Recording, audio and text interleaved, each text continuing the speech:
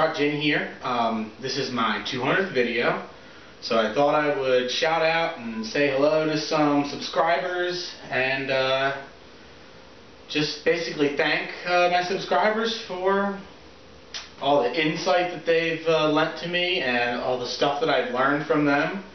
Uh, I started collecting music when I was about 15 and uh, found that I was just getting into older and older music. Uh, I never had any period phonograph or anything to play them on um, until about five, six years ago. And uh, I had been watching videos on YouTube for a while of songs and uh, learning a lot of stuff about vocalists and pseudonyms and all sorts of all the crazy stuff that goes along with collecting these these older records. And uh, Victrola Jazz um, is a channel. Uh, some of you might know him as Eddie. Uh, he has a great channel. Um, that really was the channel that inspired me to make my channel. Uh, just because I wanted to share music that I liked and try to find good copies of, of songs that I really enjoyed to share. So um, it's it's hard for me to realize I've already been posting videos to YouTube for like four years now. Um, but in that time, I've been able to meet uh, really cool people that have taught me so much about collecting and restoration and uh, really just the what's what of of this hobby. So I just wanted to uh, do some shout outs to some YouTube friends, um, especially Victrola Jazz, uh, for really inspiring me to do this channel and uh, to learn more about the music of the teens, 20s, and 30s, really, and how it all affected music that was later, and uh, it's all the, the interesting socioeconomic and cultural things that are tied into music of the past. It's all fascinating uh, for me. So I wanted to thank Multi Martini Man. Uh, he might have one of the best diamond disc jazz collections on on YouTube. Um, just some really fun stuff. If you haven't seen his channel, I highly suggest checking it out. Um, and I've been lucky enough to be able to restore reproducers for Multi Martini Man. We have shared records and, uh, you know, really, I think I learned a lot from him, and, and he says he learned stuff from me. So that's, uh, I guess that's what this social networking thing is all about. So uh, I'd like to say hi to Ricardo Ordorica. Uh, he's in Monterey, and uh, him and I have very similar taste in music, I think. Um, so it's always interesting to see the next thing that he's gonna gonna share, and uh, he also has you know wonderful jazz on cylinders, which is always fun. Um, I guess really uh, with this video I wanted to say hi to people and uh, you know share my uh, my passion for, for music. It all started with the music. Um, so I'd like to say hi to Randy Knight, who uh, I am friends with on, on Facebook, along with, with other people. I've recently got a Facebook. I've had it for maybe not even a year now. And uh, I didn't want to, but I'm glad that I did now because I, I can be in touch with people in a different way. And uh, I'm actually friends with more people that are my subscribers on YouTube than I am with actually you know, people that I see in day-to-day -day life, which, you know, is probably, probably better in the long run. Um, I wanted to say hi to Tink and Raymond T. Vinyl. Um, if you haven't seen Sideshow Tink's channel or uh, Raymond T. Vinyl's channel, you're really missing out because they have stuff to share from the 20s all the way to the 60s, 70s, and, and even some stuff from the 80s. I mean, just a, a huge breadth of, of unique music and advertising records and just really fun stuff. Um, I always enjoy watching Tink's videos where she shares her recent music scores and uh, and Raymond as well. So and I've also learned a lot from from watching their videos and being able to talk with them. And I was lucky enough to be able to meet them a few times at the uh, at the Wayne, New Jersey Phonograph Show, which I'm sure that some people watching this uh, were just at the the show that had just passed, and uh, so it's nice to be able to meet people that I am commenting on their videos, and they're commenting on my videos, and we talk and we learn, and, and then I get to meet people. So that that's really cool for me, um, especially in a hobby where I haven't been able to find a lot of people.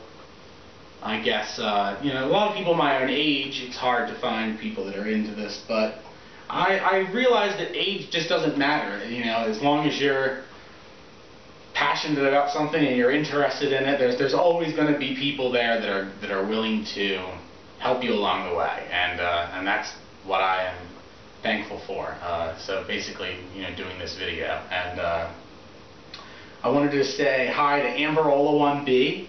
Uh, he has an excellent channel. Uh, probably, it's hard to say what my favorite channel is, but he, he's definitely up there on one of my favorite YouTube channels. Uh, if you haven't checked out his channel yet, um, I, I, suggest you do so. I'm going to put some links of some of my favorite bits from, from YouTube uh, below the video here. And he just has stuff from songs that, that you know he thinks are cool things to share, and you know neat pieces of music, all the way up to how to totally tear apart a machine and, and restore it.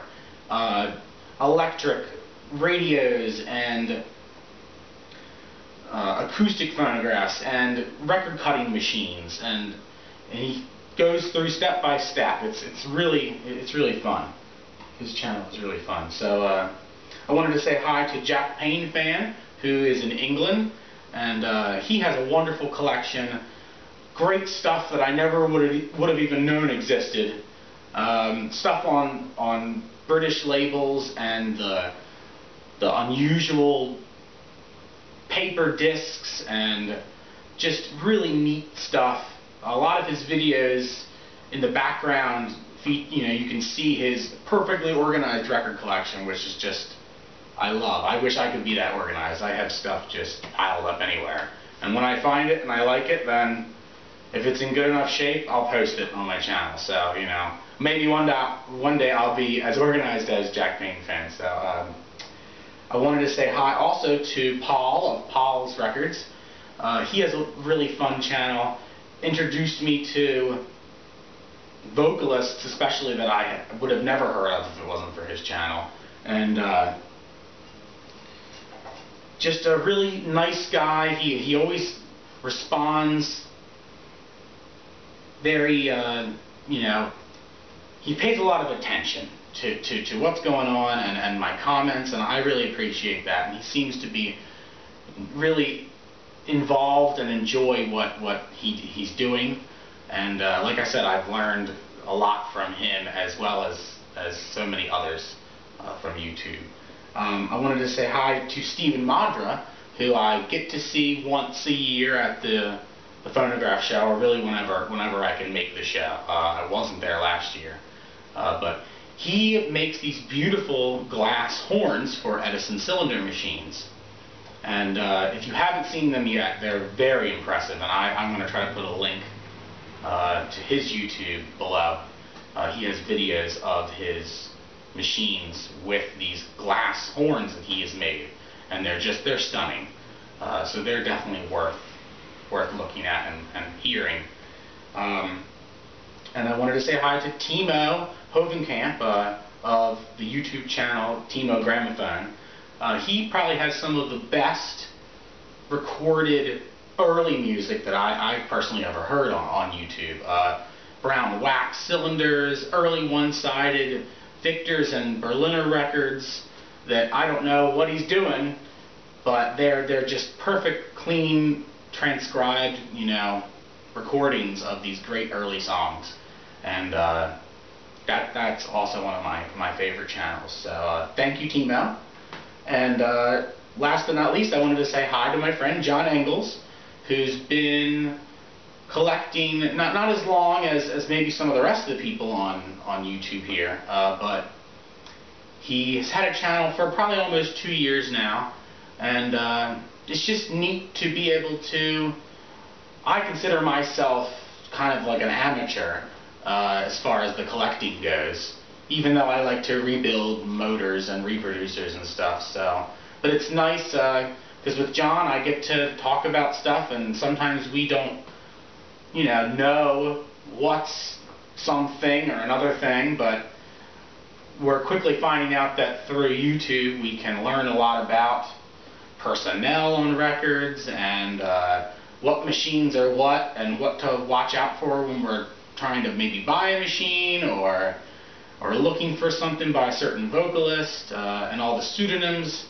Like I said earlier, you know, I just I've learned so much from my fellow subscribers and uh, for those of you that don't have YouTube channels per se, that just like to tune in and watch and listen to my music, I thank you. And uh, it's just, I have like 223 subscribers now, yeah. So I just got another one just two days ago.